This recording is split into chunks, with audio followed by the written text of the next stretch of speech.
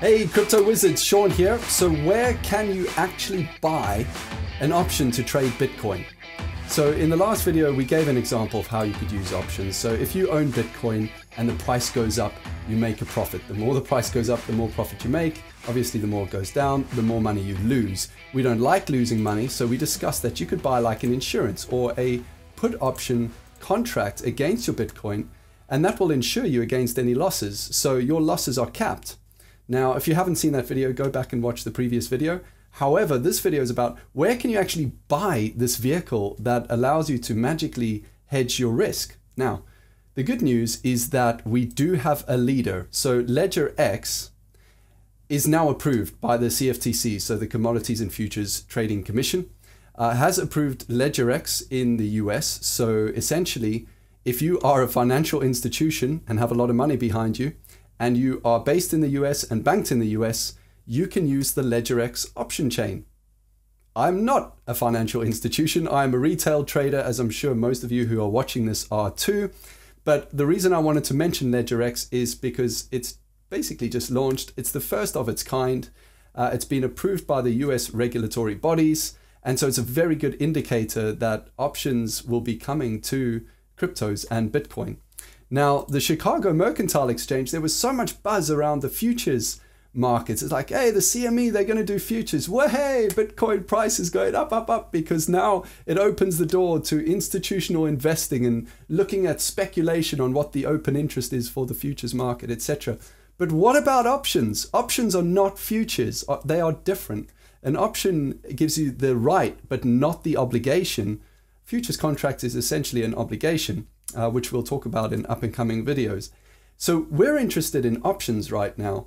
Now, will the CME group also list options on Bitcoin futures? CME will not list options initially, but will reassess once the futures market develops and a customer demand evolves. Okay, so where does that leave us? Let's move on.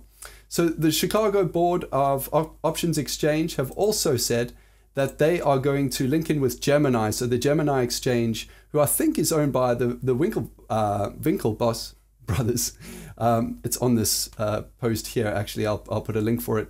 Uh, but essentially, they're teaming up too. And actually, the CBOE is likely to get into the futures market before the CME does. That's the sort of feeling out there right now. Now, they have to all go through a lot of regulatory checks before you can trade futures. But what about options again? Well, they're quite clever here because you know they're saying that you will they will open up more options for trading, but they're not saying that they will allow you to trade options yet.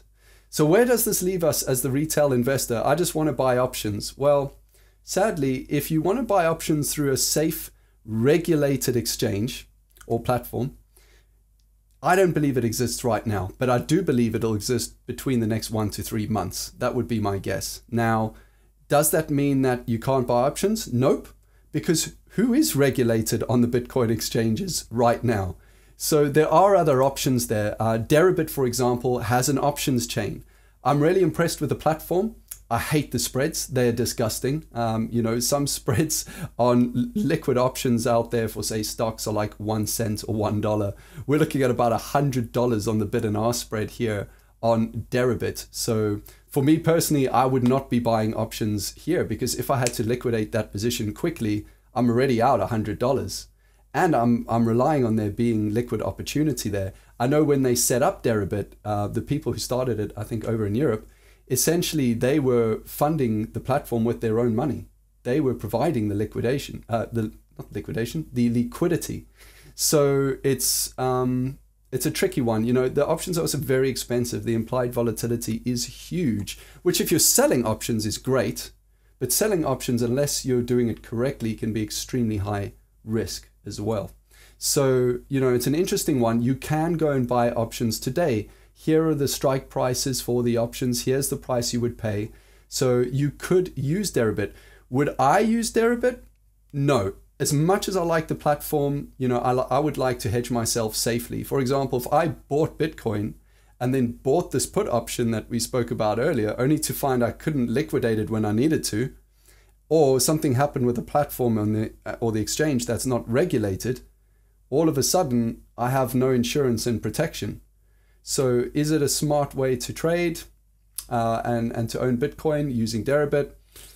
If, if your attitude to risk is more risk prone than mine, then it might be fine for you, but certainly not fine for me. So there is one other option, um, binary options trading. Now, for me personally, I would not recommend this to anyone. The maths and the odds are significantly stacked against you. For me, you might as well walk into a casino and put put your money on green on the roulette. In fact, sometimes you might even have better odds doing that.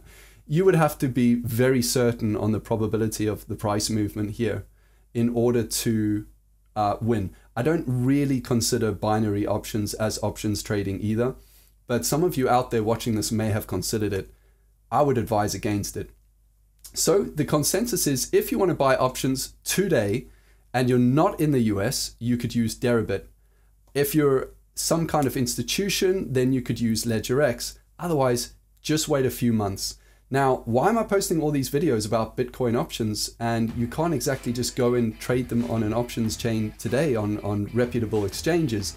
Well, the reason is because you're going to be able to this is moving very, very quickly, and there's a lot of interest in there being options as well as the futures derivatives for Bitcoin. It wouldn't make sense for there to only be futures for a period of time. So other derivatives are going to enter the market too. You're going to want to get up to speed with how the options work. Of course, you can see me playing around here with different options prices to see what would happen to my Bitcoin price and seeing how you can hedge and make money no matter which way the price goes when the options hit the reputable exchanges, you're going to be equipped with the knowledge you need to trade and to trade safely. So I do not give investment advice. I hope you got a lot out of this video. And if you have any questions, just shoot me a message and I'll get back in touch with you soon. Take care. Bye bye.